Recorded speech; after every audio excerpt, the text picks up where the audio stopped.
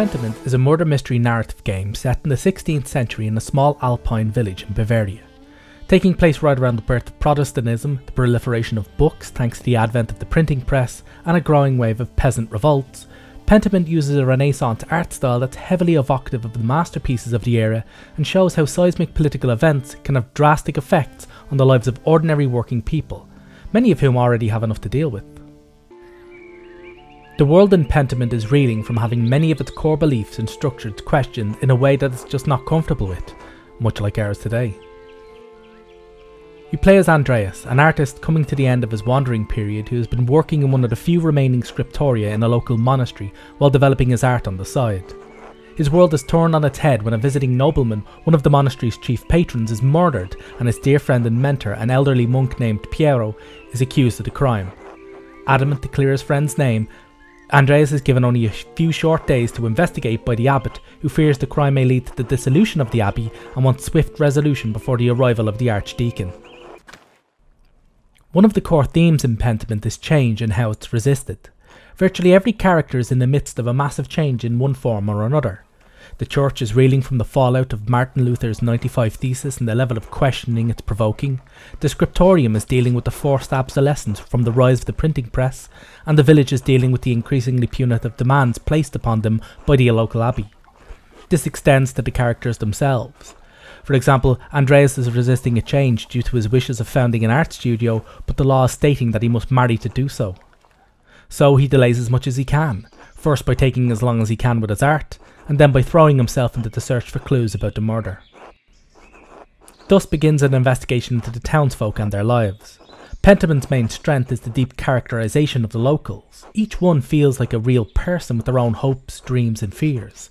There's a strong current of empathy running through the narrative. By focusing on the minutiae of everyday life, Pentiment fleshes out the locals in ways you just don't see in many other investigative games. You delve into their lives not by interrogating them, but by sitting down and eating with them or helping them with tasks. This means you're not only uncovering information and motives, but also forging connections and relationships which will shape how the game plays out in the future.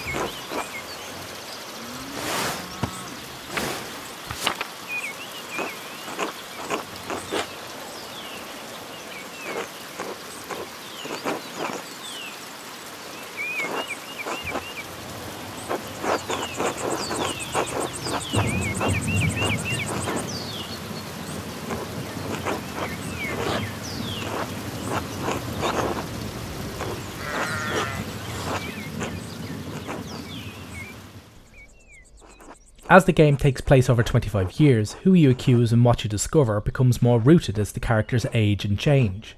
It also means that thanks to the wonderful writing, you'll end up becoming more and more invested in their lives. The truly awesome art style lends so much to this. Despite its medieval manuscript styling, it's stunningly realistic and helps showcase the depth of research done by the developers. If you were a fan of the historically perfect art of Apotheon, then you're in for a treat. The whole framing of the visuals as an illustrated book like the Book of Kells is an inspired choice. The picture zooms out to read the glossary entries, showing the rest of the page, and it combines well with the pages turning to show the scene changes. Another fantastic artistic choice is the clever use of fonts. Different social strata have their dialogue written out in their own font, with the local peasantry having their words scratched out in sharp handwriting to the noble's Gothic script. This gives more depth to the characters and further defines their place in the world and how they are seen by others. I particularly love the printer's text being stamped out like a printing press. To give even more life to the script, there are even spelling mistakes dotted around which, after a second, are hurriedly rubbed out and corrected. It's a brilliant trick that gives you the impression that you're reading a living text, one that's being written right in front of you as the events unfold. Speaking of reading the text, you'll be reading an awful lot of it. If there is one demerit with Pentiment, it's that it's not in a rush to tell you the story. The meticulous detail in every aspect of the history and setting takes a considerable amount of time to convey, and it won't be to everyone's tastes.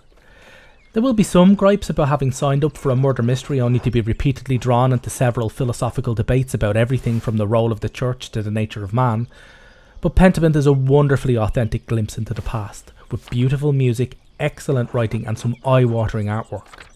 Its glacial pace, reams of text, and lack of a voice cast may put some off, but this game is a rare thing, intricately detailed, and a lot of fun to play.